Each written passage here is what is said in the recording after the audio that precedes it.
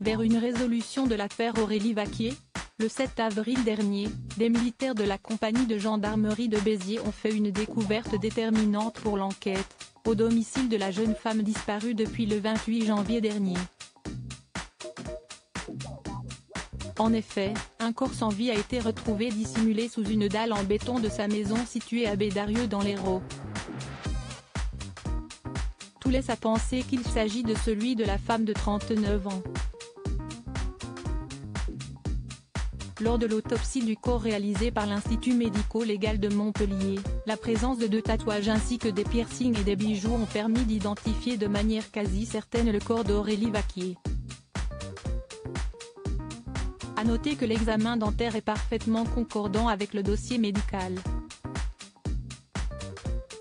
Une expertise sera ordonnée très prochainement afin de confirmer définitivement l'identité de la dépouille. De quoi anéantir les espoirs de sa famille qui espérait la retrouver vivante. Suite à cette macabre découverte, Samir le compagnon d'Aurélie, a été immédiatement interpellé et placé en garde à vue. Alors que celui-ci est soupçonné d'être à l'origine de la mort de sa compagne, il a fermement nié les faits en affirmant qu'il n'était pour rien dans le décès et la dissimulation du corps.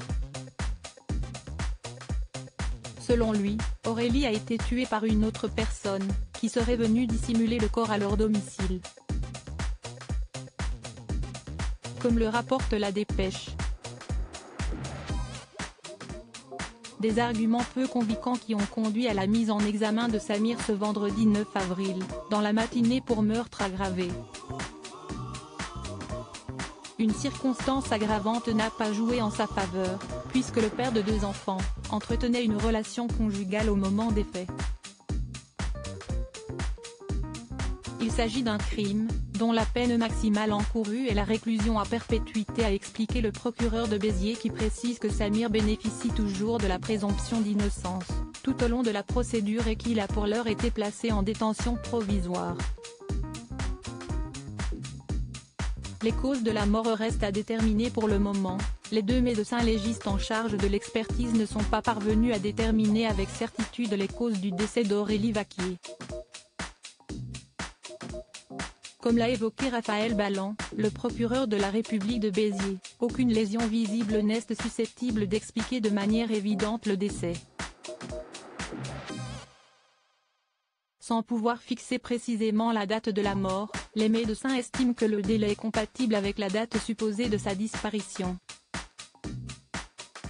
Des expertises plus approfondies tenteront de déterminer les causes du décès. Ça va prendre un certain temps, a-t-il ajouté.